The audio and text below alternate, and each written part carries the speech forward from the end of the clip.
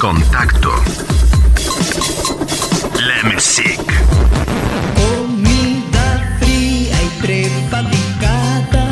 Salvavidas musical para tiempos de contingencia, viaje transatlántico hasta España para platicar con Yanara Espinosa, From Woman de la banda Papaya, que tiene nueva música y muchos planes para este 2021. ¿Cómo estás? Bienvenida. ¿Qué tal, Gaba, mi niña? Tenía muchas ganas de conocerte y muchas ganas de poder establecer una pequeña conexión con México con todos los proyectos papayescos que tenemos entre manos. Por supuesto. ¿Cómo te trata el confinamiento? ¿Cómo van las cosas por allá? Bien, la verdad es que ahora mucho mejor. En el momento del confinamiento yo siempre eh, se lo cuento a las personas y digo que fue realmente para mí fue un buen momento en el sentido de que paré de hacer un millón de cosas y me centré más en la parte artística, que es lo, lo, lo que importa, ¿no? Tenemos que concentrarnos en hacer canciones porque si siempre estamos haciendo vida social, si siempre estamos saliendo, yendo a conciertos, dando conciertos, no nos paramos tampoco a escuchar lo que tenemos que decirnos a nosotros mismos, los artistas. He hecho guiones, he publicado mi primer libro, ha salido todo el EP este nuevo que acabamos de sacar de Papaya de la Reina del Amor. También ya tengo preparado ese siguiente disco que va a venir, que ya te desvelo el nombre, que se llamará Caramelos y Veneno. Se han hecho bastantes cosillas en el confinamiento. Más o menos intenté mantener una rutina un poco como en la cárcel. Me levantaba, me duchaba, me ponía un poco de rutina para no perder el juicio, ¿no? Dentro de esta locura. Yo creo que pude sacarle un poco el jugo papayesco para, para los siguientes discos. Confirmo. Aparte, está increíble. Caramelos y Veneno, la nueva producción de la cual ya queremos escuchar y obviamente pues estamos muy felices de la reina del amor. Pero en este trayecto que nos compartes, ¿qué temas han atrapado tu atención? La música, la familia, lo que es importante. ¿Cómo te ha ido con eso? Hombre, yo creo que independientemente de la pandemia, yo creo que desde muy pequeña siempre fui un ser muy entregado al mundo en ese sentido, ¿no? Siempre he tenido como una conexión con las cosas, siempre he conectado bien con las personas. Entonces, lo que ha sucedido a lo mejor ahora la gente está eh, más delicada, quizás más sentimental, que eso también nos viene bien a los artistas, porque creo que hemos aprendido también a valorar más cosas, el sentido de ir a un concierto, el simplemente hecho de abrir una pista de baile, poder estar con nuestros amigos, le ha servido a todo el mundo para, para valorar más todas esas eh, pequeñas, grandes cosas de la vida. Sí que sabe que haría la conclusión de que mientras más difíciles sean las cosas, eh, los artistas tenemos que lucharlo y seguir para adelante, porque ya estaba complicado desde que empezó a crearse internet, por ejemplo, por poner un ejemplo, la industria de la música ya fue decayendo, ¿no? El problema de la piratería, ahora con menos conciertos, si antes lo teníamos difícil, ahora lo tenemos más difícil todavía. Y también que yo creo que hoy en día la información va muy rápido, es muy efímera, con la tecnología la gente tiende más al móvil, tenemos más internet en casa, a lo mejor apetece verlo por internet y no a los sitios. Yo diría que la conclusión más importante es que ahora que es más difícil que nunca, nos involucremos todos, tanto el público como los artistas, para conseguir que la música siga y, y- y no, no desaparezca la historia. Que nos juntemos porque esto es una cosa que nos conecta, nos interfiere a todos los países de distinta manera, pero que a todos nos, nos afecta, y más en el, en el ámbito cultural, que es una cuestión que está muy conectada con la sociedad. Por supuesto. Y a estas alturas, ¿cómo ves el panorama musical en pandemia? Se está produciendo mucha música. Claro, y además que ahora que todo el mundo ha salido, como de un poco estamos saliendo de esa pandemia, ya hay más discos de lo normal, está todo muy efervescente, a la vez que la gente recibe las cosas de una manera efímera. Entonces es complicado conectar esas cosas. Yo lo aprovecho en mi discurso, en las entrevistas que tienen que ver con mi música, estoy aprovechando un poco de contar eso. Hay gente que habla de política, hay gente que habla, yo que sé, de homosexualidad, de todo. Yo siempre intento no entrar mucho en los temas delicados, pero sí defender el terreno nuestro del arte, que es lo que nosotros tenemos y con lo que nosotros nos ganamos la vida y que también a la vez es nuestro sueño. Y es algo bonito, que estamos compartiendo con más personas. No es como cuando vas a un trabajo, trabajas, te llevas el sueldo a casa.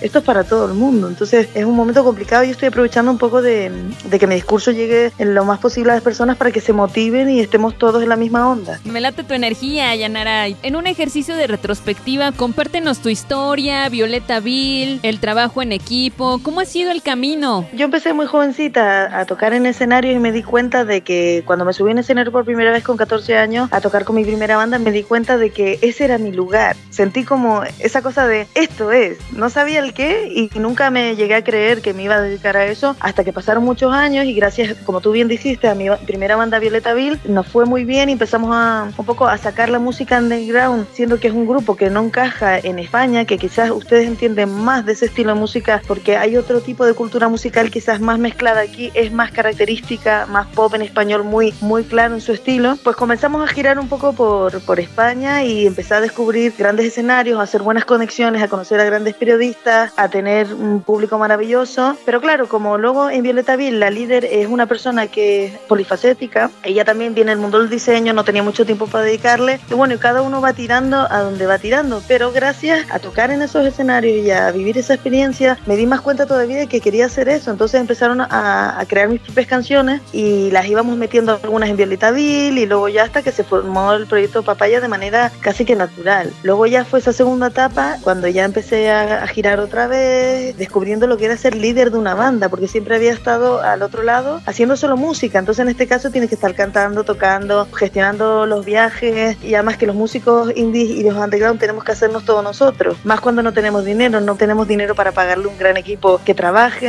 y incluso hasta los sellos independientes que mejor les va, tampoco tienen un dinero para pagarle a la gente. Entonces te, lo bueno de eso es que aprendes mucho a hacer las cosas y mientras más aprendas, eh, mejor trabajas en equipo. Echo de menos no seguir tocando con Violeta Vil, pero también fue una suerte conocerlos para hacer un puente hacia lo que es la creación de Papaya. Y la conjunción de todo pues me ha llevado sin darme cuenta pues, a, a estar tocando. Lo que pasa es que claro, ahora no, ahora estoy tocando, pero que ha sido una época muy bonita, tanto una como otra. O sea, han sido para mí como tres etapas. Cuando eres joven y, y descubres que ese es el sentimiento, que tú quieres estar en un escenario. La segunda etapa, Violeta Vil, que con un grupo underground consigas un poco en España, que no está tan mimetizado con otros géneros tan psicodélicos, quizás están más diferenciados, pues conseguir el placer de vivir esa experiencia, de tocarlo, de luchando, siendo mujeres, enfrentándonos a, al escenario, las cosas. Y luego la tercera etapa, que es cuando llegan las canciones propias, que me doy cuenta que cuando empiezo a hacerlas funciona y bueno, como ya tienes más claro tu sueño porque has recorrido las otras dos etapas, la cosa casi que sale de, de forma natural. Y ahora pues esperando cuarta fase que creo yo que ya eh, quiero tocar. Yo a mí lo que me gusta es tocar, hacer feliz a la gente, eh, quiero vender discos, que el negocio de la música siga adelante y ahora estamos formando un sello con mi socia para apoyar también a esos artistas que son menos conocidos que Papaya y que Violeta, intentar echarles un cable. ¿Cómo se llama el sello? Agua en Marte, esa gotita en, en ese planeta absurdo. Que es donde sale tu libro libro.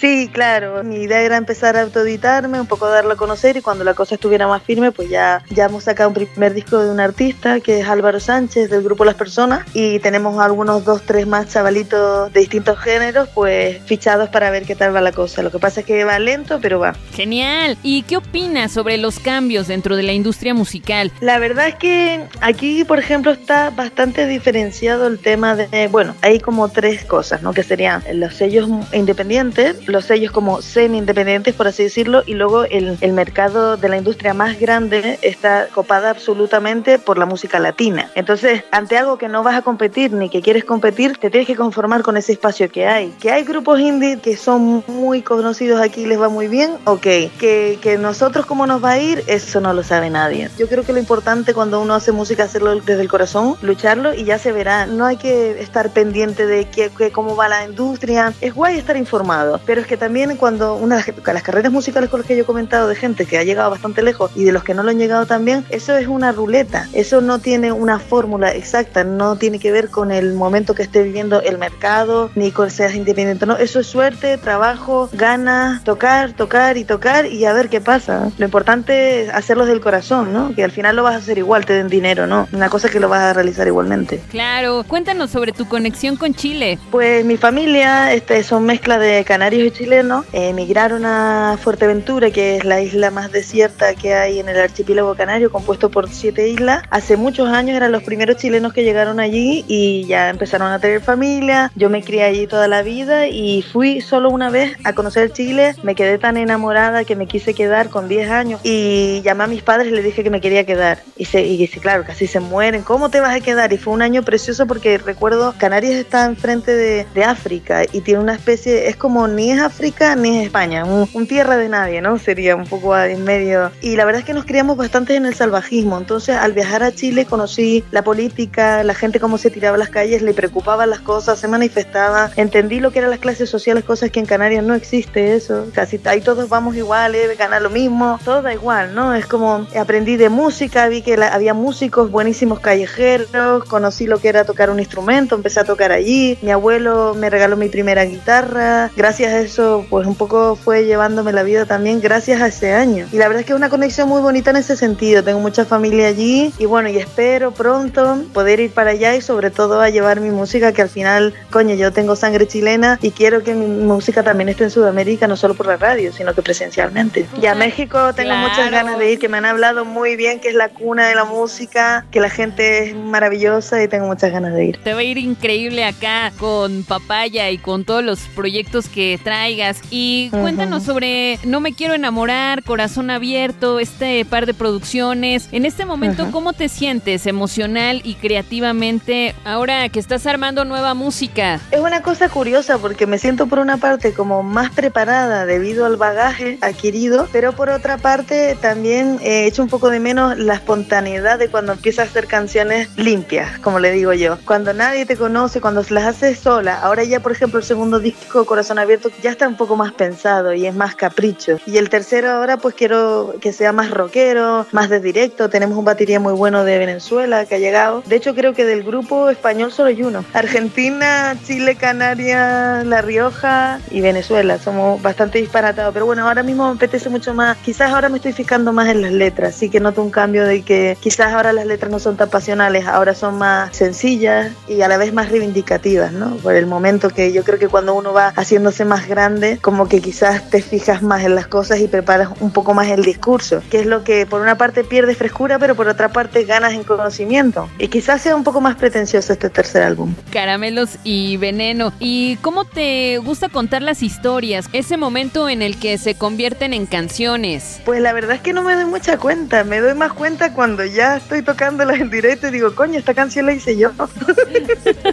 y la veo, la veo como, como que tienes un hijo y, y lo desconoces, o sea, te involucras, pero luego lo abandonas, lo recuperas y dices, es mi hijo. como una, una sensación un poco extraña. Pero la verdad es que ha sido bastante natural todo. Tampoco pienso mucho en las letras, me salen y, no, y no me gusta seguir. O sea, si hago una letra, la hago en unas horas y ya, fuera. Y ya no, no, no me pongo ahí a darle vueltas porque para eso me dedicaría a escribir Biblias o novelas o otra cosa. Yo creo que las canciones tienen que ser espontáneas, frescas y auténticas. Contar las cosas de una manera que yo creo que es lo difícil del pop. Esa es mi obsesión ahora, intentar con cosas sencillas eh, contar cosas importantes pero a la vez normales. Por supuesto. Y disfruté mucho tu libro Papayerías. Sí, ¿te gustó? Ah, es increíble. La verdad es un poco loquito. Sí, lo que hablas del tiempo, esta manera de compartirnos tus reflexiones, tus momentos, el test con el que abre amor o sexo, ese momento en el que nos permitimos echar un vistazo interno y saber cuáles son estas cosas que nos hacen ser lo que somos. Claro, y sobre todo tomárselo con humor. Realmente es un libro un poco cómico en el sentido de que no de manera seria. A lo mejor si alguien no tiene sentido común o no tiene, sabe coger el doble sentido, a lo mejor se asusta porque dice, ¿qué coño está diciendo esta tía? Está loquísima. Y me lo dicen también. Pero me encanta que digan que estoy loca porque realmente lo estoy.